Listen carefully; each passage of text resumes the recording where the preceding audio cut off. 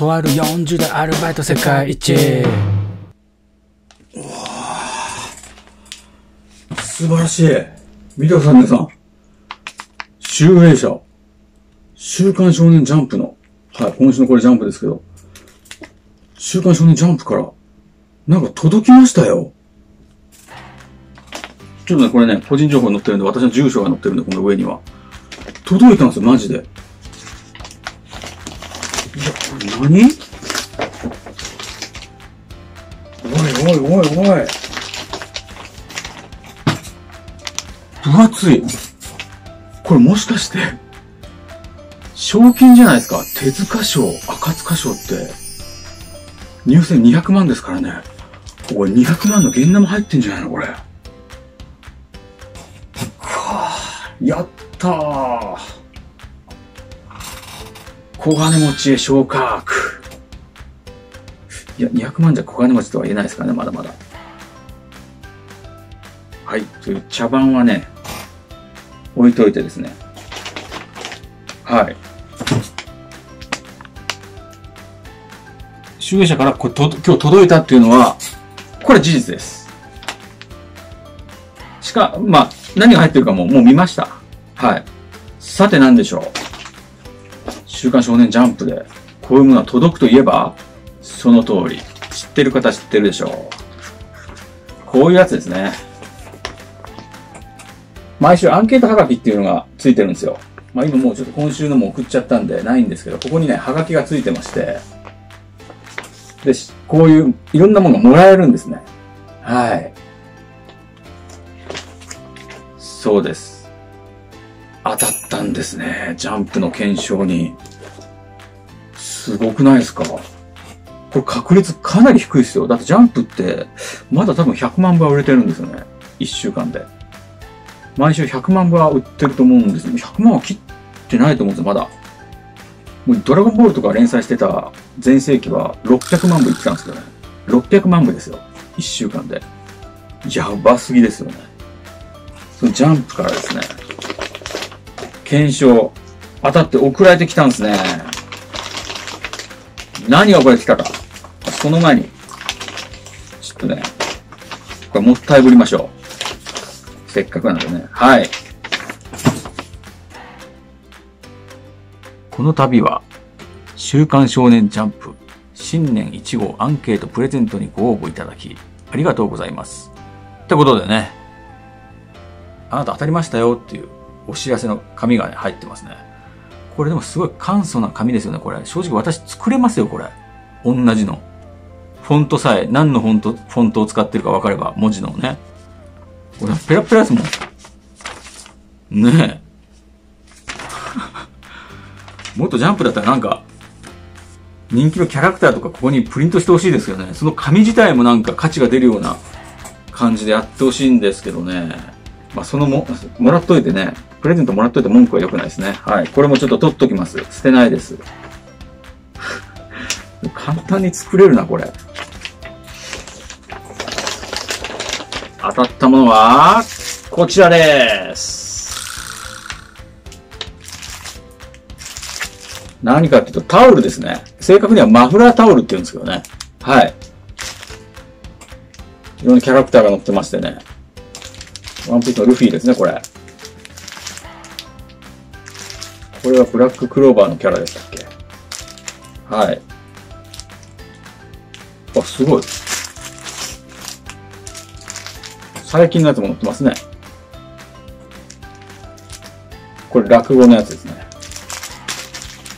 うん。あ、これ呪術廻戦の虎杖、主人公ですね。こんな感じのがね、当たったんですよ。他も盛り上げましょう。先ほども言ったようにですね、100万部以上売れている漫画のアンケートはがきに出す人が何人ぐらいいるかですね。100人中、100万人中、まあ、1%の人が送ったとして、1万人ですからね。1万人は多分送ってると思うんですよね。1%ぐらい送ってるでしょう。ん。で、私が当たったのはここですね。ダブルチャンス。マグカップとタオル。どっちかっていうね。100名、100名っていうの当たって、こっちが当たりましたね。うん。これ柄が一緒ですね。これです。これが当たりました。100名。だ1万人が応募してたとしたら、100分の1、1%の確率を引き当てたということで。いや、最近、スクラッチくじも当たらないし、宝くじも全然当たらないですし、ロト6とかナンバーズもちょこちょこは買ってるんですけど、全く、あ、ロト6はね、末端の1000円とかが2回ほど当たりましたけど、そのぐらいなんですよ。こういうでかいの当たると嬉しいですね。ジャンプの検証とかそういう、なんかメジャーな雑誌で検証とか当たった記憶はないですね。これいいじゃないですか、キャラクターね。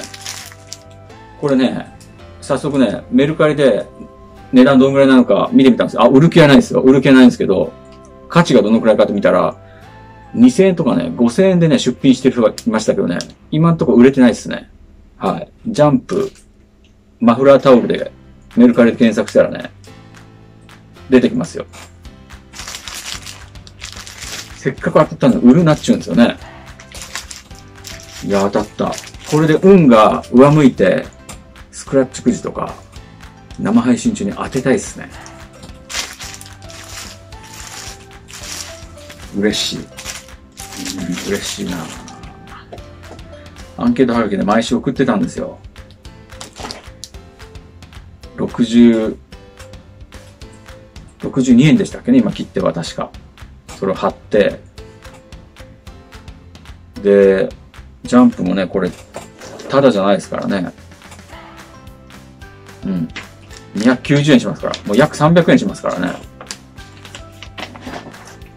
高いっすよね。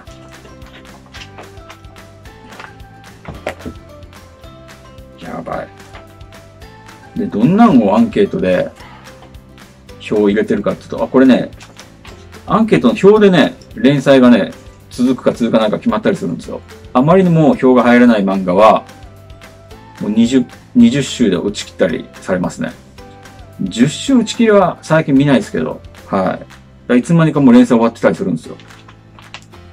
人気絶頂のまま連載終わるパターンもありますからね。ドクターストーンなんかは人気あったけど終わりましたよね。だから、ドクターストーン連載中はだいたいドクターストーンの番号は書いてましたね。で今ドクターストーンは連載してないんで、だいたいまあ、ワンピースとか、呪術廻戦とか入れてますかね。ワンピースは、パラパッと、パラパラっとしか見てないんですよ。なんか面白い展開あるかどうかだけ。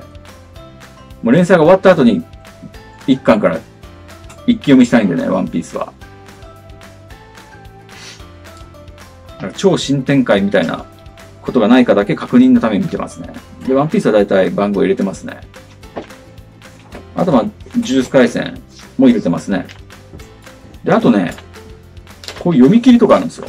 ジャンプって結構。はい、新人が読み切りを載せたりしてるんですけど、そういうので面白いなったら番号書いたりしますね。今回のね、読み切りやばかったっすよ、なんか。設定がすごい。漫才師なんですけど、主人公が。漫才師でありながら、あの、ヒットマンなんですよね。殺し屋。殺し屋漫才師ですよ。こんな設定見たことないっしょ。だからほら、こうやって見て。漫才中に人を殴ったりしてるんですよ。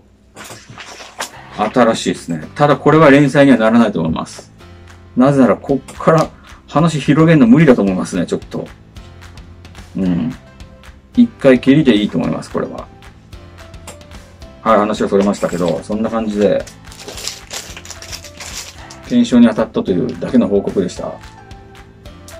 もっとね、すごいことが起こるように、ジャンプで、こういう検証が当たったとかじゃなくてね、その最初の茶番でやったような手塚賞の賞金もらいましたみたいな、そういう報告をね、次のジャンプ系の動画ではしたいですね。全く作品は書いておりません。舐めてますよね。すごい時間かけて絵描いてね、面白い漫画を送りたいんですけどね。これやりたい、あれやりたいっていう話だけはね、出て、全然やらないことが多くて、っていう話すらも何回もしてますもんね。もうちょっといい加減にしましょうか。行動に移しましょう。はい。ということで、えー、っと、話すこともなくなったんで、あ、なんか明日ね、私の視聴者の達也さんが誕生日だそうなんで、何歳かは知りませんが、もう私より確実に若いんですけどね。達也さん誕生日おめでとうございます。そんなところで失礼しました。多分ここまで見てないかもしれないですけどね。達也さん、気づいたらコメントください。で、皆さんもね、私のこのしょうもない今回の検証当たった動画、書くこともないと思うんで、達也さん誕生日おめでとうって書いてあげてください。できれば達也さんのチャンネルに飛んでいただいてね、誕生日おめでとうって言ったら喜ぶんじゃないでしょうか。ありがとうございました。